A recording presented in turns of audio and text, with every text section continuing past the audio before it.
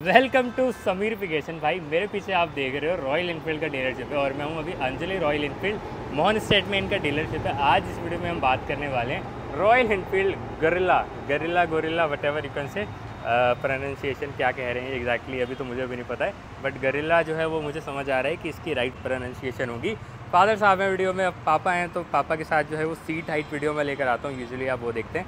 तो वो वीडियो आपको मैं इसमें देने वाला हूँ। इसकी जो सीट हाइट है बाइक की वो 780 एटी mm है। अब 780 एटी mm 800 से 20 mm कम है। यूजुअली जो भी बाइक 800 mm की होती है, वो कंपैटिबल होती है। अगर आपकी हाइट पाँच फुट एक इंच पाँच फुट दो इंच के अराउंड रहने वाली है। लेकिन सेवन एटी mm के साथ पापा किस तरीके से बैठते हैं, कितने पैर टच होते हैं, और अगर आपकी भी हाइट इतनी ही है, आपका भी सेम कंसर्न है तो ये वीडियो आपके लिए काफ़ी हेल्पफुल होने वाली है। ये सारी बातें आज की इस वीडियो में मैं आपको बताने वाला हूँ। पहली बार आए थे चैनल पे सब्सक्राइब कर लीजिएगा, यहाँ पे गाड़ियों की वीडियोस आती है और आ रही की कोई भी बाइक लेनी है, आप इनसे कांटेक्ट कर सकते हैं। नंबर मैं यहाँ पे स्क्रीन पे लगा दूँगा बेस्ट डील के लिए। बाकी अब आइए ओवरऑल एक बाइक का एक 360 डिग्री वॉक अराउंड दे देता हूँ। ये वाला जो कलर है, जो बेस ट्रिम होगा, नाम मुझे भी नहीं पता है, उसमें दो कलर आएँगे। पाँच छः कलर आते हैं इनके पास टोटल ये जो है वो सारी चीज़ें रहने वाली हैं। बाइक का इन डिटेल रिव्यू भी आएगा तो वो वीडियो आप अलग आई बटन पे देख लीजिएगा। इस वीडियो में सिर्फ़ और सिर्फ़ सीट हाइट की बात करने वाले हैं एंड देखेंगे क्या कुछ कैसे रहने वाला है। पापा यहाँ पे रहने वाले हैं, पापा बैठिए बाइक पे और दिखाइए क्या कुछ कैसा रहता है।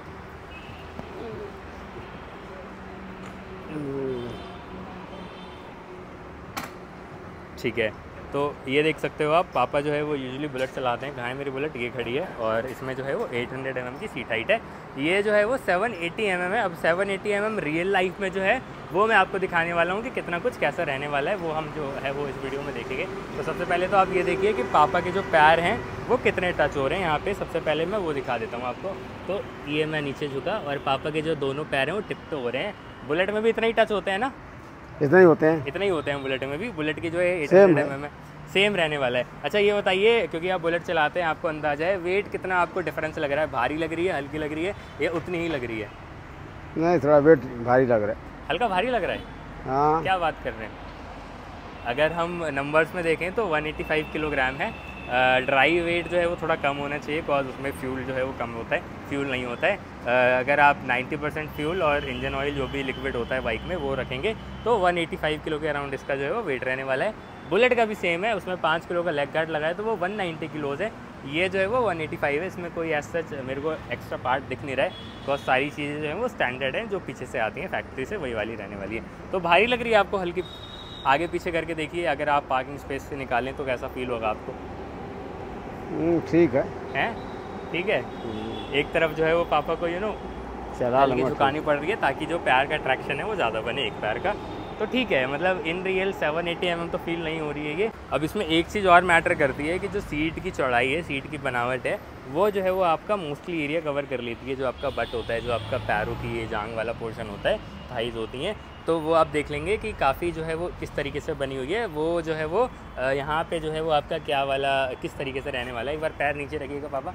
तो ये देखिए, इतने कुछ टच हो रहे हैं यहाँ पे। ये चेक करें आप।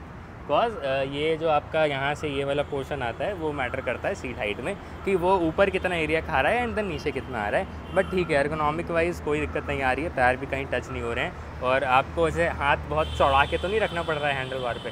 नहीं नहीं सही है ओके सही है ना? कोई दिक्कत नहीं आ रही है। नॉर्मल लग रही है ना जैसे आप मोस्टली बाइक चलाते हैं। ठीक है कुछ बताइए बाइक के बारे में आपको कैसे लगी? थोड़ा आप इनिशियल इम्प्रेशन दिए। ठीक लग रही है? हम्म, गाड़ी मतलब दो लाख सत्तर अस्सी हज़ार रुपये वर्थ लग रही है? बिकॉज़ बुलेट भी अब दो चालीस की आ रही है। हाँ ठीक है। साढ़े चार सौ सी इंजन है पावरफुल है लिक्विड कूल्ड है ब्रेकिंग वगैरह अच्छी है। सबसे बड़ी बात है टायर देखो कि टायर जो है वो आगे का 120 एम mm चौड़ा है पीछे का 160 एम mm चौड़ा है जो कि यूजुअली आर की बाइक में इतना चौड़ा वाइट टायर नहीं आता है। हिमालयन में भी आई थिंक 150 आता है पीछे इसमें पीछे 160 दे दिया है। तो जो उससे लुक आ रहा है पीछे का वो देख सकते हो किस तरीके से। आप बोलोगे भाई टेल लाइट कहाँ है? तो भाई टेल लाइट है यहाँ इसको आप ऑन करेंगे। तो जो ब्लिंकर्स हैं, इसी में इंटीग्रेटेड टेल लाइट है।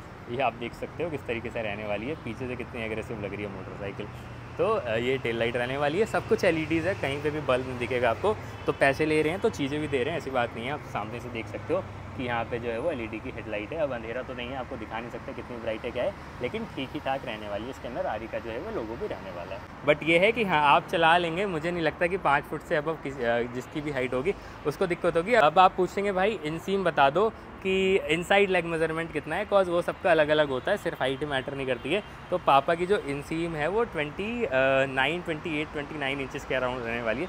एग्जैक्ट मैं लगा दूँगा मैं भूल रहा हूँ। बिकॉज़ लास्ट वीडियो मैंने Hero Xtreme one twenty five R की करी थी तो उसमें मैंने मेज़र करा था। तो उसमें भी मैंने जो है वो स्क्रीन पर लगाया था बिकॉज़ घर पर जाकर मेज़र करा था।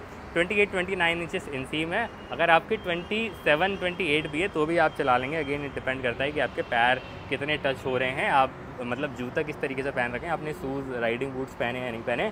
और फिर सबसे बड़ी बात आ जाती है कि राइडिंग स्किल्स कैसी है। बिकॉज़ वो बहुत मैटर करता है साहब। अगर आप अभी नए नए चलाना स्टार्ट करें तो आप जो है वो सबसे लो सीट हाइट की बाइक होगी। उसमें भी आपको जो है थोड़ा डर बना रहेगा। अगर आप पुराने राइडर हैं, काफ़ी सालों से चला रहे हैं। मिनिमम आप चार, पाँच से अगर बाइक चार, पाँच साल से भी अगर आप बाइक चला रहे हैं तो भी आपको जो है वो कोई दिक्कत नहीं होने वाली है। तो आई होप मैंने आपके सारे डाउट्स क्लियर कर दिए हूँ।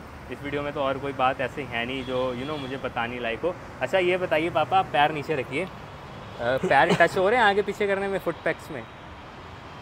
मतलब ये जो पैर रखने वाला होता है इसमें पैर टच तो नहीं हो रहे हैं आगे पीछे करने में? नहीं। नहीं हो रहे हैं ना? मतलब कहीं पैर टकरा नहीं रहे हैं ना? ये है मेरा जो सवाल है। नहीं नहीं हो रहा है। नहीं टकरा रहे हैं। ठीक है कोई दिक्कत नहीं है। और आप एक बार ये भी देखिए आपको जो है वो राइडिंग ट्राइंगल जो होता है किस तरीके से आप बैठते हैं वो भी मैं दिखा देता हूँ कि पापा किस तरीके से बैठे हैं। ठीक है ऑलमोस्ट सीधा ही बैठे हैं जो हैंडल बार की पोजीशन है वो हल्की सी अप रखी गई है। जिसका वजह से जो राइडिंग ट्राइंगल है पापा ये वाला पैर ऊपर रखिए। हाँ ये देखिए आप। तो पापा की राइडिंग ट्राइंगल राइडिंग ट्राइंगल ये रहने वाली है, पाँच फुट दो इंच हाइट है पापा की, शायद मैं हाइट ना बताया हूँ वीडियो में फाइव फीट टू इंचज़ के अराउंड पापा की हाइट रहने वाली है। और इन सीम जो है वो twenty eight twenty nine inches रहने वाला है। आप देख सकते हैं किस तरीके से ये रहने वाली है। अब इसके अलावा भी अगर आपके पास कोई और क्वेरी है जो आप यू नो सीट हाइट से रिलेटेड है पर्टिकुलरली तो नीचे कॉमेंट करिएगा। आई होप मैं आपको जो है वो ज़्यादा क्लैरिफिकेशन दे सकूँ उसके ऊपर। इस वीडियो में इतना ही रखते हैं। अगेन जो है वो रॉयल इनफील्ड गोरिल्ला फोर का काफ़ी सारा कॉन्टेंट आने वाला है। चैनल पर तो सब्सक्राइब कर लीजिएगा और लाइक ज़रूर कर दीजिएगा इस वीडियो को। और कमेंट करिए अप्रिशिएट करिए। अगर आपको किसी और मोटरसाइकिल का वीडियो देखना है पर्टिकुलरली सीट हाइट वीडियो आरी का पापा के साथ या किसी और बाइक के साथ, पापा के साथ तो जो है वो नीचे कमेंट करके बताइए, उसको भी हम कवर करने की कोशिश करेंगे। इस वीडियो के लिए इतना ही। इंस्टाग्राम पे भी आप फॉलो कर लेना, वहाँ पे भी काफ़ी बाइक का कंटेंट आता रहता है। थैंक यू सो मच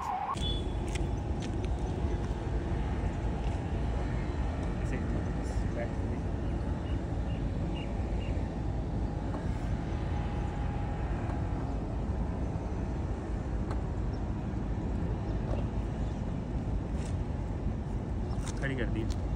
उतर जाइए, उतर के आ जाइए।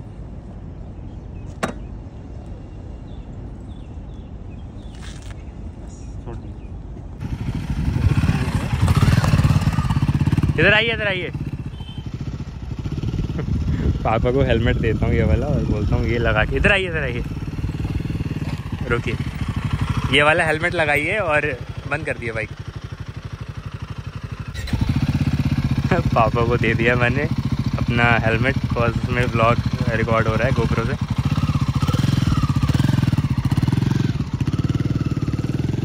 देख रहे हो? पीछे तो बहुत सेक्सी लग रही है भाई मेरे को। दिल कर रहा है कसम से बुलेट चल करके ले लो ये। कमेंट करके बताओ।